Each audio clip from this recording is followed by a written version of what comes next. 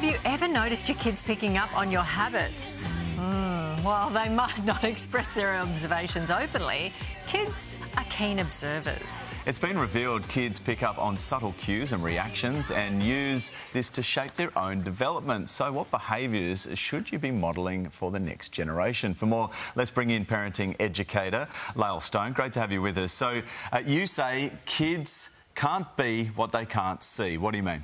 What I mean by that is children are constantly watching, right from the very beginning when they're little babies, they're observing their environment. So they make sense of the world by watching what we do. So if we want our children to be empathetic humans, we have to model empathy. If we want our kids to, you know, have good work ethics, we have to demonstrate that. So I think the kids can't be what they can't see really is about what are we modelling and showing them. And, and I think the tricky parts of that is we often have this, you know, do as I say, not do as I do, but our kids mm. are always watching watching. So I think it's something we need to be really, really uh, mindful of. Yeah, it's interesting, isn't it? You've started um, by listing the three most common behaviours that we can model for our kids, starting by us looking in the mirror.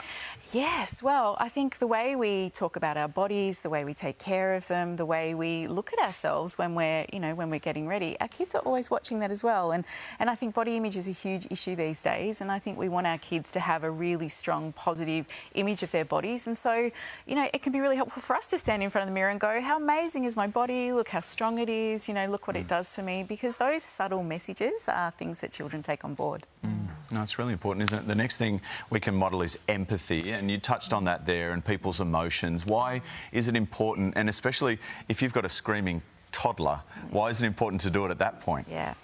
Because I think children, again, they're learning about the world from what we're modelling to them. And when it comes to feelings like anger and sadness, we have to show our kids healthy ways to process and move that. So if we yell a lot, which I know all parents do at some point, right? Parenting's stressful. You know, we want to show them healthy ways to move anger. So, you know, when we get angry, maybe we shake our body, maybe we go for a run, maybe we talk to someone. And I think those things help our children develop empathy and compassion when we show them healthy ways to process those feelings and then meet them in that way as well. Mm. What about apologising or admitting you're wrong as a parent? Yes. That can be hard. It can be so hard, but I think that again sets up really beautiful imprints around just being human and being mm. vulnerable. So I think when we do have, you know, tension with our kiddos, which happens all the time, it's really important that as the adult we go back and repair in a healthy way. So we mm.